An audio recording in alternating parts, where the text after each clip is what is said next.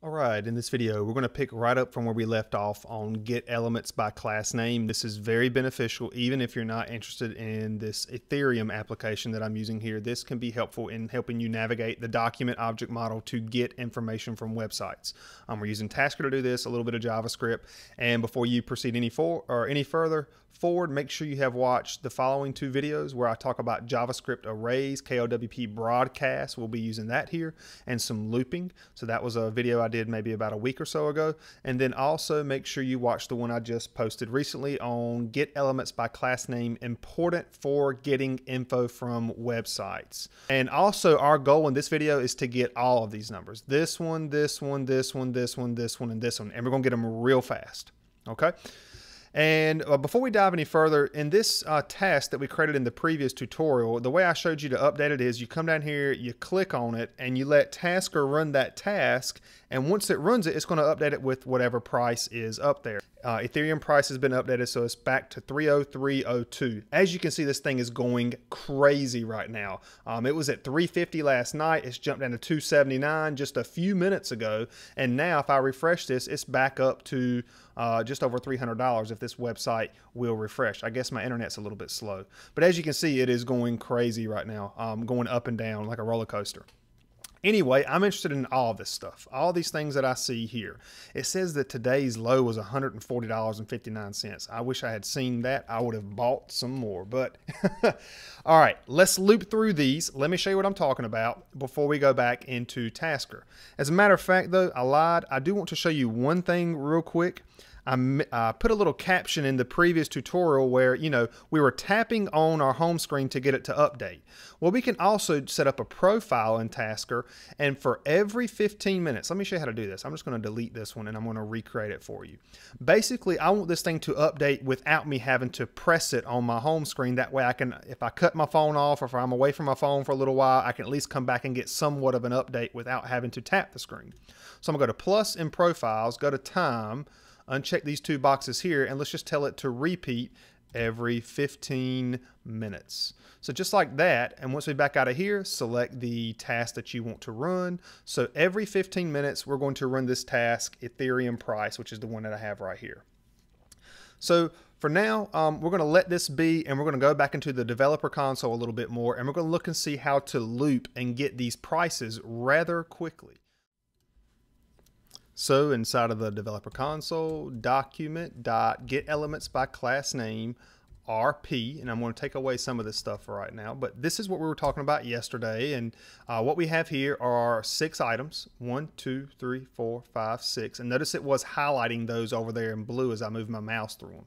Well, those are the six pieces that I want. I want the price, I want the percent change, today high, today low, today change, and then the market cap. Well, luckily for us, if you recall in the previous video, if I did a zero and I did dot inner text, it's going to return this one right here. Luckily for all of these, the inner text is going to work. Sometimes that's not the case for some websites, but for here, we're good. So now again, to kind of recap real fast, document.get elements by class name RP0 right there inside of those brackets. It's going to go to that zero index and it's going to go look at its inner text. Well, like I said, all the inner text will work. So if I go to the one index and I look at in inner text right there, 1359, which is that one right there, all of these inner texts are going to work like that. So to show you that without looping, first of all, I'm going to change this to a 1. I'm going to come and notice 1359. All I'm doing is changing that number. And this is where a loop can be, be very helpful to get this information much faster. There's our 2. And then here is our three. You can see this can get real uh, redundant, and that's why we have for loops. There's number four. Um, that sometimes this stuff will pop up inside of your developer console. Don't worry about it. I don't know what it does. Um, something blocked. Anyway. Uh, and five. All right, so we got all of those there, and as you can see, these numbers here um, match this. Now, they may not in a second because this thing is changing uh, the prices and all that stuff, but nonetheless, we have them. So we have them like that, and we could go into Tasker and do all of those pieces, but sometimes, suppose you had 30 of these things that you wanted to get. I do not want to type in 30 of those things. I want to loop it. I want to let Tasker and JavaScript do all the work. So what we're going to do here is we're going to create an array in our developer console. The way we can do that, I'm just going to say Ethereum array, or whatever you want to call it, is equal to a blank array. All right, so I've defined my array. I'm going to press Shift and Enter um, because I'm going to keep on, if you press Shift Enter, it's not going to apply the code yet. And what we want to do here is we want to do a for loop. So for i equals 0. Now I mentioned for loops in my previous, or in one of those two videos, the one on JavaScript arrays. Now, I tell you what, let me delete this for right now. Let me show you one more thing. I'm going to go back to get elements by class name, RP, and I'm going to come right after that parentheses and say dot length. That's going to tell you right there, dot length returns how many items you have in this array. And we do have six items indexed from zero to five. That's how JavaScript works. It starts indexing at zero. So we have six items. Now let's do our for loop. Um, now we could define a variable for this to avoid having to type this in, but for now I'm just going to copy and paste that into my for loop. So for i equals zero, and then I want i to be less than this thingamajigger right here. As you can see, some of this stuff's going to start popping up. And now you might say, well, why can't we just let it be less than six? That's absolutely fine. But maybe you have a website where maybe you may have the, the, num the number of items in your array may change. By you using this code, it will change dynamically with it. But we could easily put i less than six by all means. But I'm trying to cover a few of those uh, different ways of doing a for loop here. So we got i equals zero, semicolon, i less than six in this case, semicolon, and then we'll do i plus plus. Close up my for loop stuff put a bracket, and I'm gonna press shift enter again. So now I'm on my next line of code just to kind of keep things organized. Now what we want to do here is we want to push stuff into that array. Well, let me define that array again. I need to put that above my for loop. I called it Ethereum or ETH array, and I used a blank array, just like that. So what we want to do inside of this blank array, we want to push some stuff into it. And what that will do, so we do ETH array or whatever you called your array dot push. That's going to take, uh, essentially, we're going to push these numbers, these items, these inner text pieces. We're going to push them into the array. And when it pushes that number into it, it's going to put it on to the end of the array. So if you already have one item in the array, when you push it, that new item that you push is going to become the last item in the array. So we're going to push these in there and they're going to be in order as you'll see right here in a second. So ETH array dot push parentheses, and now I'm just going to copy uh, this piece up here because that's the way we can get our prices or our percents or whatever. But what we want to change here is we don't want the index to be zero. We want the index to be I now. So what this is going to do, i is equal to 0, so it's going to get the 0 one. Boom. Then it's going to run this code again, and it, it's going to add 1 every time in this for loop. That's what this i++ plus means. It's going to add 1 to it. And it'll keep running this code here as long as i is less than 6, which is the length of that uh, get elements by class name rp.length. Remember how we said that was 6 a moment ago. Just some few things here to get our uh, typing our syntax correct or whatever you want to call it. I got a parentheses here, so I need to close that parentheses up. And again, this is going to push those pieces into this uh, blank array that I have right now. I'm going to do shift enter and I'm going to do a bracket to close my code. You can close it up here too, um, however you see fit or however you want to do it and I think we should be good to go. So if I press enter right now, it's returning a 6. Well, what is that 6 telling me? Since I have created this array, ETH array, I can type that in and press enter, and now check this out. What if what the uh, developer console, this JavaScript's just done, this piece right here is that it's come and pushed all those inner text items into my array. As you can see, we have those right there. So that's those same pieces that I was showing you up here. Now the numbers may be different because the website has updated, but nonetheless, we are still getting each piece. Pretty cool, huh? Now we're ready to do this inside of Tasker. So I'm going to go into Tasker and we're going to change a few things. So I'm going to disable this KLWP send variable because I want to be do a KLWP broadcast because since we want to send over, you know, six items to KLWP. I don't want to do six of these send variables. Or you can imagine if you had 30 of them, you don't want to send over 30 uh, different KLWP send variables. We can actually incorporate our KLWP broadcast task into our for loops. So that's something I'm going to do a little bit different versus what I did over here. So I'm going to go into my JavaScript and I'm going to go ahead and delete um, this stuff back up until the DOM parser thing. So I'm going to delete all this right to here. Okay. And what I'm going to do is I'm going to copy over all of this here, that for loop that I did. So what this is doing is it it's basically creating our JavaScript array. I'm going to put a little enter right there. So we have Ethereum array. It's a blank array. Uh, we're going to push some stuff into it. And the only thing I need to change now is I need to make sure it's not document. Remember, I mentioned this in the previous video. We use doc, and then I need to make sure I do it down here as well. Okay. And now, one more thing you want to do as well inside of here is, uh, even though I called this ETH and capital A, I just come here and put a lowercase um, because Tasker can have a little bit of an issue accessing uh, variables where you use a capital letter. It's dealing with that local variable, global variable uh, inside of Tasker. But for now, if we just change our capital A's to lowercase a, so we have ETH array and ETH array, that's where we use those two pieces. Now, if we try to access this inside of Tasker right now, the way you can access a, a an array inside of Tasker, I'm just going to flash and I'm going to do percent. That's how you get a variable or accessing variables or use variables in Tasker. And I called it ETH array. And since it's an array, we need to use parentheses in Tasker. That's one difference between Tasker and JavaScript. There are more coming. So if I click play now, um, we get this flash that it's been updated, but now we don't see anything with the ETH array. You saw a blank. Let me show that to you one more time. We see that blank right there. So it's flashing that the price has been updated. Now what I've done too is I've just disabled this HTTP GET for a minute. I'm going to cut it back on in a second. Um, that's slowing down this task and it's slowing down the video.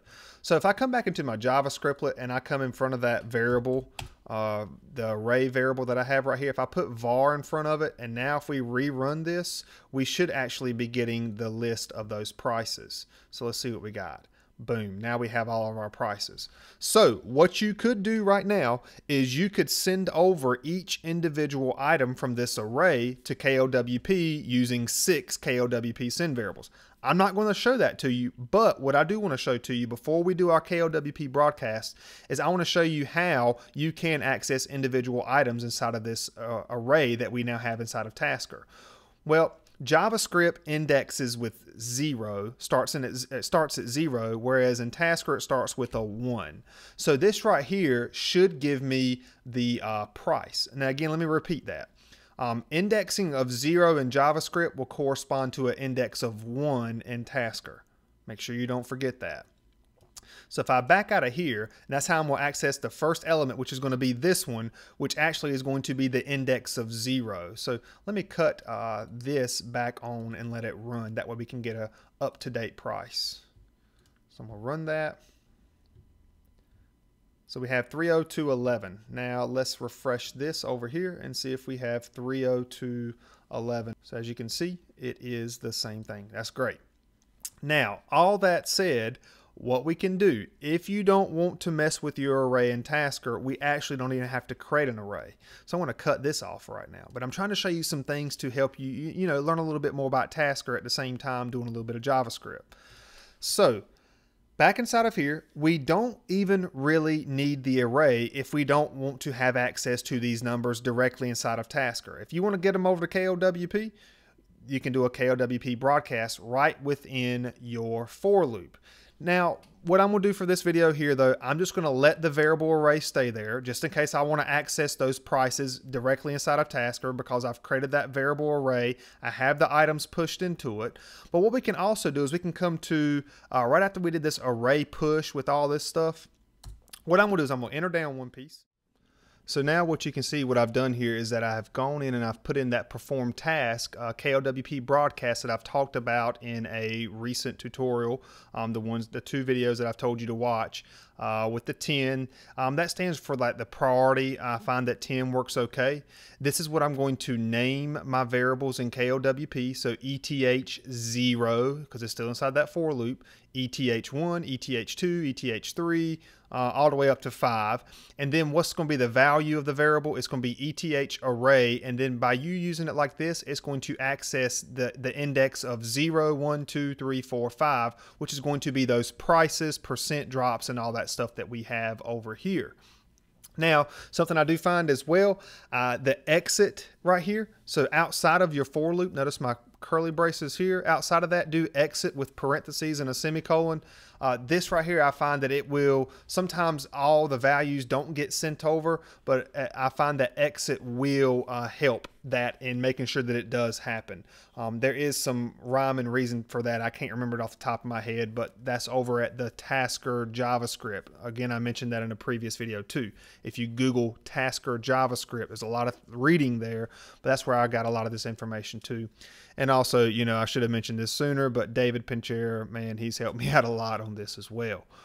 So all of this, now I'm still using my array, kind of recapping on all this stuff. The array push, that's allowing me to create this array that I can access inside of Tasker, but now we have a second way of accessing this information, and it's going to be right directly inside of KLWP since we're doing this broadcast task here.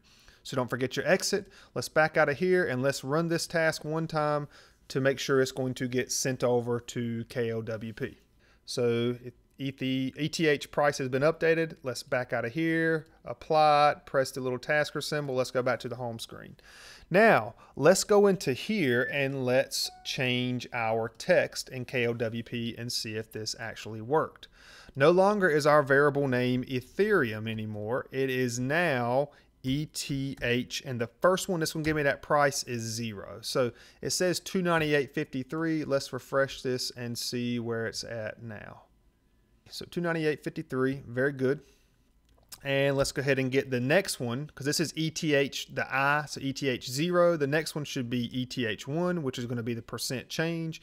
I haven't talked about the arrow piece, but we'll save that for another video. So percent change is going to be broadcast tasker ETH1 and let's see if it's going to come through. So I think by us doing that exit, um, I think that's helping these come through on the first shot because sometimes that might not work. So there's your little warning there. Um, today's high. I should be copying and pasting this stuff.